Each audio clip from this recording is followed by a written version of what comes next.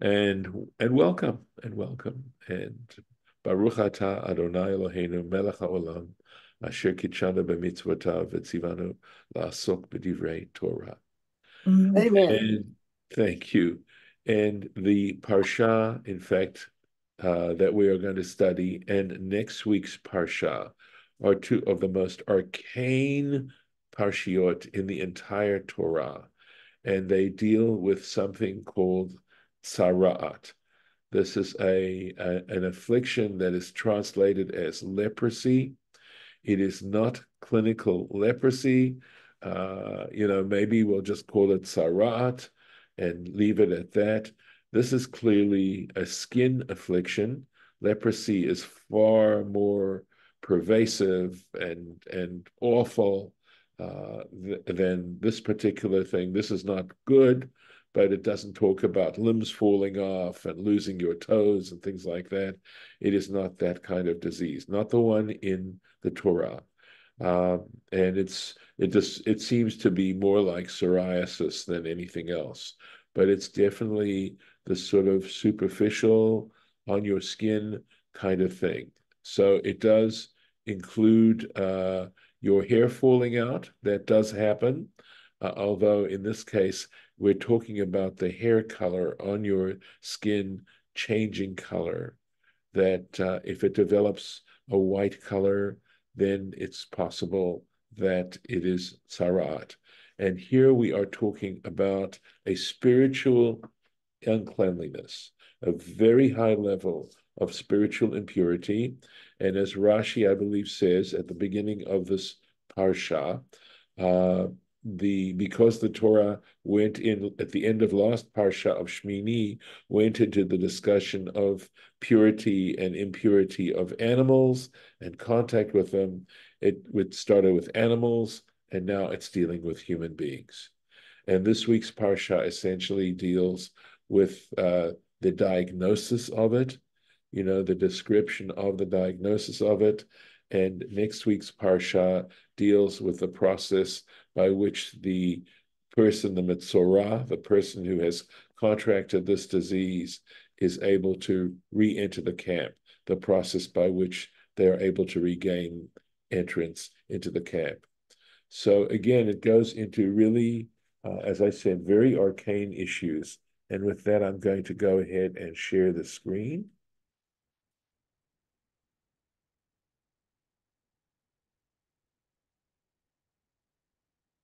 And we are into this parsha. So you can see this is Shishi. Normally, this parsha, Tazria and Metzora, in a regular year are combined over the Shabbat. So that would make it, if they were combined, this would be the beginning of the third Aliyah. But when it's just by itself, which it is this particular year, this is already the sixth Aliyah. So we are moving in, since there's seven Aliyot, there uh, we've really moved into this uh, well into this particular parsha. And I would refer you to uh, earlier sessions that you can find on the on the YouTube page of this if you're interested. So, going on.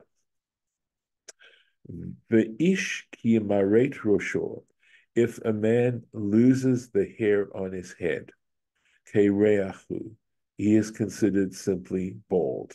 Tahorhu, he is, in fact, pure. This is not a case of leprosy. So here we go. Kereahu tarhorhu, tarhor mitumat nitakin. So there is a, a disease that the Torah has described as a netek. I think that's translated as a fret, which does involve the hair and the discoloration of the hair. And he's saying, Rashi is saying, this is not one of those various types of nitakin, of netek. She'eno nadun simane rosh v'zakan. This is not diagnosed with those indications of the head or the beard. Shehem makom sa'ar, which are in fact the location where hair is found. Ela besimane nig'e or, but this would be this, okay. Um, they they are not judged. Let's make sure Okay, this is not going to be judged by this this particular area, but by the indications of or, where nigaim are plagues, literally. In, in other words, the plague of leprosy. So the the indications of skin, basar, right, the flesh, basar lavan, right. So this would be another way in which it is. This is if the hair turns white. Umichye ufishyon so a michye, I believe, is some kind of uh, rawness to the skin. Pishyon sounds like it would be some kind of eruption. Those are indications of leprosy. The, the, the removal of his hair is not considered leprosy. So Rashi's telling us that the indications of leprosy are excluded from this particular diagnosis. I mean, if he saw any of these things, if the priest, and just to, rev to review that, that in order to get diagnosed, the diagnosis is done by a Kohen, by a priest. It is not done by anyone else. This is totally part of what makes this a spiritual disease. So, now, so here we go. Now, if there is in this bald spot or ba Sorry, I think I left out a sentence. Here we go. Sorry, 41, right? The im mipa'at panav. And if from the front of his, literally it means his face, but it means the front of his head, yimaret rosho. Again, we're talking about his, the hair from his head gets, falls out. Gibeahu. So there's a separate word. I don't think there's a word in English that I know of to directly translate this word gibeach. Gibeach means front head baldness. So we only have the word bald in Hebrew, but we don't have. So we got kereach, which would be all the hair of a person's head or that process. Gibeach is if the front of his head is he's losing hair on the front of his head, who as he's considered a gibeach, tahorhu, and once again he's considered to be a, a, a in, in a state of purity. So here, im mepa'at panav, right? Mi shipua kod kod. So shipua would be a slanting air of the of of the skull, klape panav towards his face. Karui gabachat. This area, if this if the hair falls out of this area, he's it's called your gabachat, uh, or rather that area of your head where the hair is. For af hatzta'in, and he says, in fact, this also would include the uh, the sides of the head, shemikan umikan, which are one side and the other, bichlal, are included in this. Umishipua kod kod klape achorav karui karachat. So he's defining for us these words of gabachat and karachat, and he's saying, and from the slant of the head, right, of the skull, klape acharav, towards the, the, his back, right, towards the, the nape of the neck, if that area is has the uh, well, or even let's forget about removal. Okay, I think he is simply saying that that part of the head is called the karachat right? And the part of the head that slopes towards the front of the head and the sides is called the gabachat. And so if you're a kereach, it means you've lost the hair on that part of your head. And if you're a gibeach, you've lost the hair on that part of your head. So Rashi simply saying that that's that these words gabachat and karachat actually have to do with the area of the head we're trying to describe. Okay. The, so now we go on. or bagabachats, right? So it's important that he's just define those terms. He says, and if there is in the front of the in the area of the of the skull, which is to the hair that is going towards the back of the head, right? Or bagabachat, or towards the front of the head, nega lavan, a white affliction Adom Dom. pinkish, right? Reddish. Sarat porachati. That would be a malignant sarat.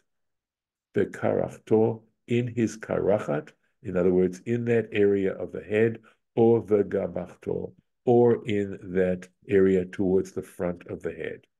So it could be that he is bald, but there is those signs in the skin. But if I'm understanding Rashi correctly, it could also have to do with the hair, the color of the hair.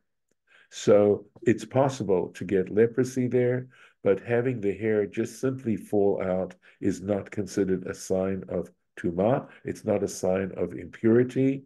However, we have the Torah has just defined those signs of purity that it can, can occur in that part of the head.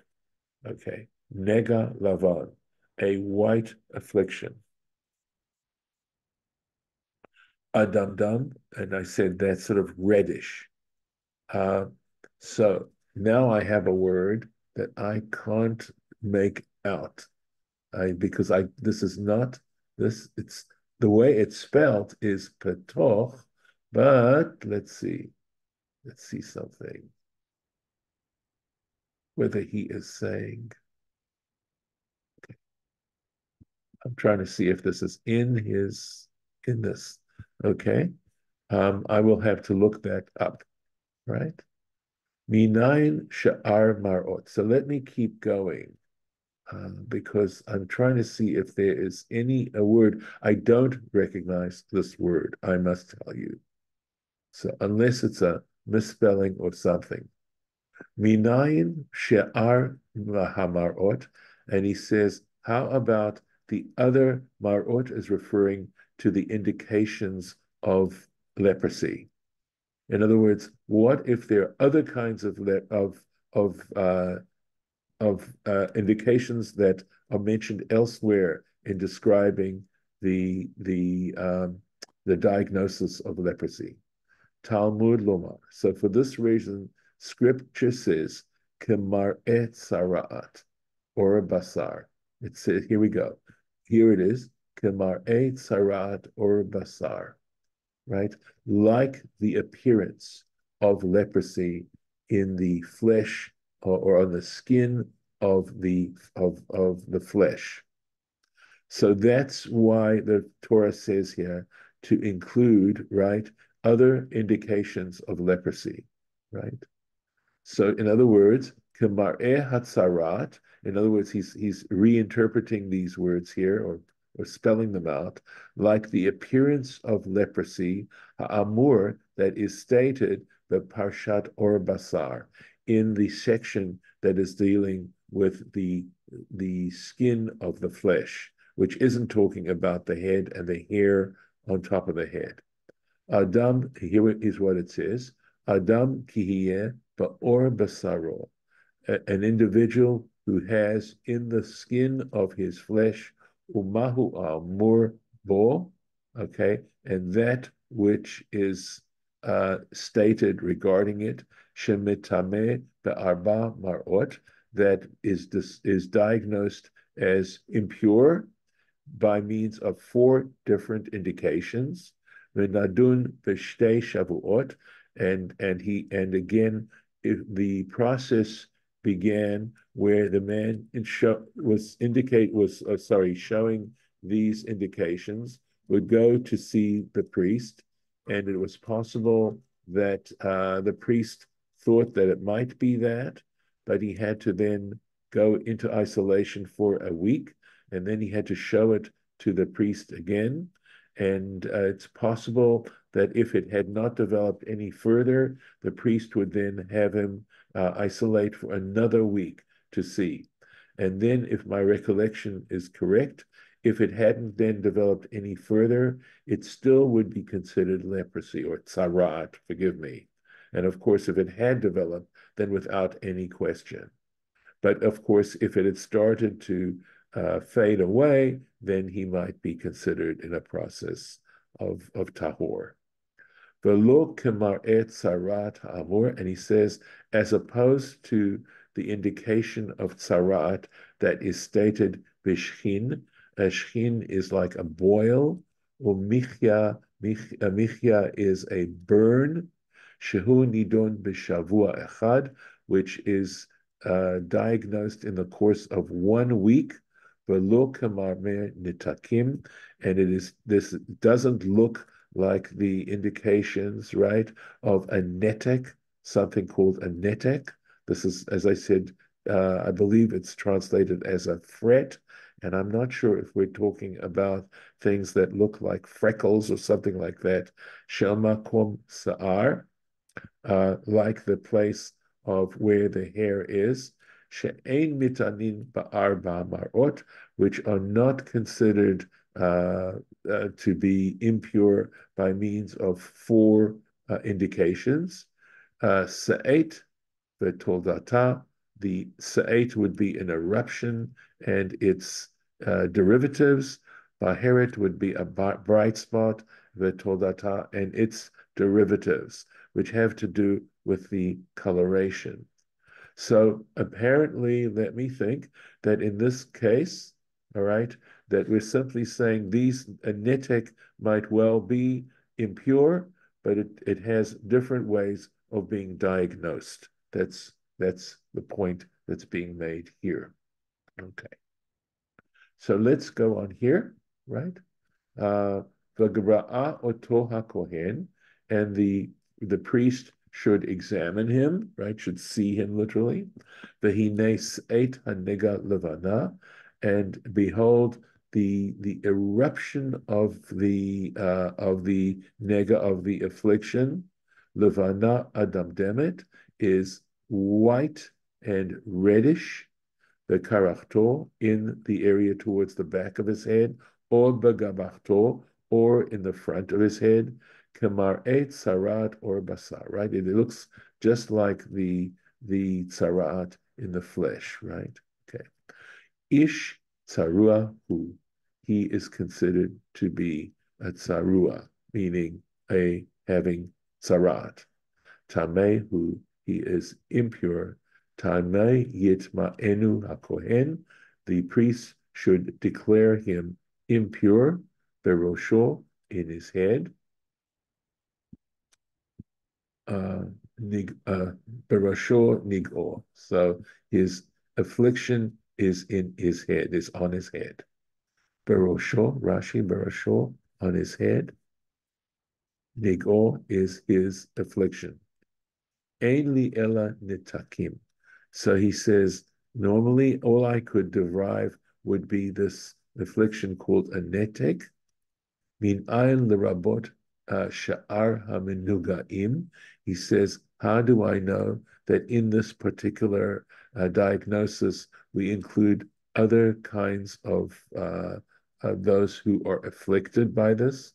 Talmud Lomar. For this reason, Scripture states, Tameh nit amenu, right? He shall indeed de declare him imp impure, lerabot et kulam. That is to include any other kinds of similar indications. Al kulam regarding regarding all of them. Hu Omer he says the gadav yiyu krumim. This he this is what happens once a person is in fact declared a leper that they have to basically uh, rumple his clothes. His clothes become disheveled. He needs to wear disheveled looking clothing, right? And uh, etc. for Gomer. Going on. So now, now we are going to say this is what happens. The Hatsarua. And a one who has tsarat, Asher Bo Hanega, right? Who, who has been diagnosed with this particular affliction, the Gadav Yihu Fomim, his clothing should be, as I said, uh, basically disheveled. The Rosho Ye Parua, and this has to do with the hair on his head is just a mess. He has a permanent bad hair uh, situation. For Al Safam Ya'ateh, and apparently he needs to place something over his mouth, right over over the top of his mouth, the tame tame yikra, and he has to call out unclean, unclean. Right. So Rashi, before I comment a little bit further on this, because this is, as I said, arcane and difficult. This is not easy stuff. So Rashi explains Rumim Ruim means torn. Parua, it refers to the hair just is let to grow. His hair just grows. He never gets it. It gets a haircut. For al samfam ya'ateh, and he has to place like some kind of covering over his mouth, right? Ka'avel, like one who's in mourning. Safam, right? So he says, what's the safam? So he says, sar asfatayim. We're talking about the hair over the lips, your mustache. And the French, of course, is grinon, it looks like. And in Yiddish, it looks like schnorbert. So bert is a, a beard, right? Because of a relationship to the word uh, beard in English. So schnorbert must mean to do that part of the mouth, the, the mustache, etc. The las. The tame tame yikra, and he shall call out unclean, unclean. Mashmia, right? He has to uh, announce shehu tame that he is in a state of impurity, vayifreshu menu, so that people should uh, dissociate from him. They should stay away from him. And that's okay. So let me let me comment a little bit.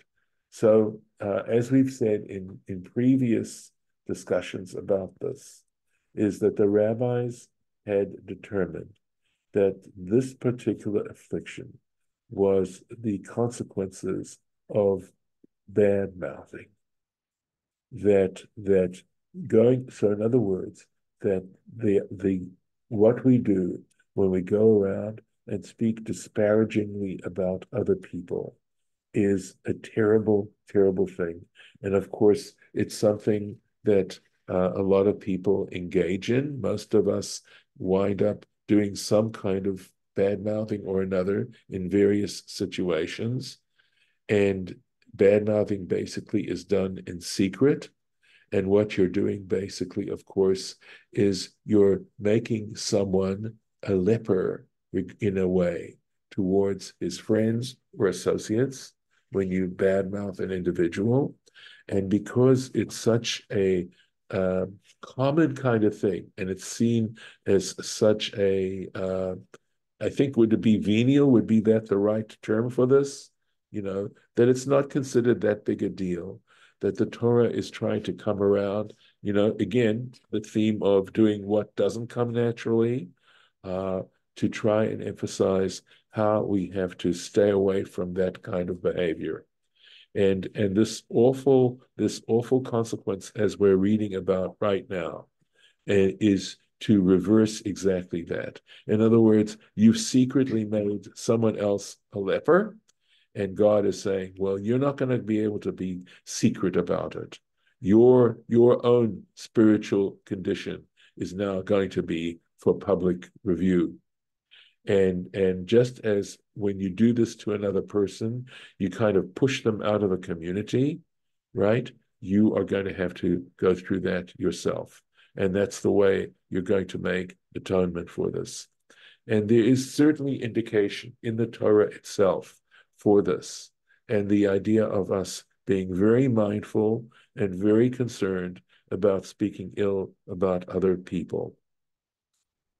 There was a, a very great rabbi uh, of the 18th century, I believe, who was, uh, I, I can't think of his real name right now, uh, but his he was referred to as the Chofetz Chaim because there's a verse in one of the Psalms that says, "Who is one who desires life?" Chafetz Chaim is desiring life, and and it says, "Guard your tongue from evil." So this is evil speech that we're talking about here.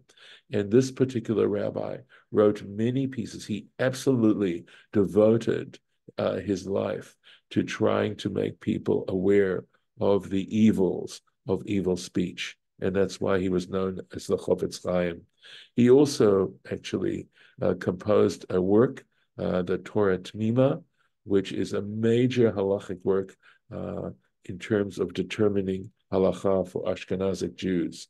You can't just use the Shulchan Aruch, which is considered to be, of course, the law book of Jewish law for Ashkenazic Jews, but um, he actually did a tremendous amount of research and wrote his his commentary and his discussion of this uh, a major major work. You ask how someone is capable of putting out so much so much work, uh, and it's called the the uh, Torah Tmima, and it it is in print. And with this, I will stop today's lesson. Uh, and of course, if you have a uh, let me make sure this is where we're up to. Yes.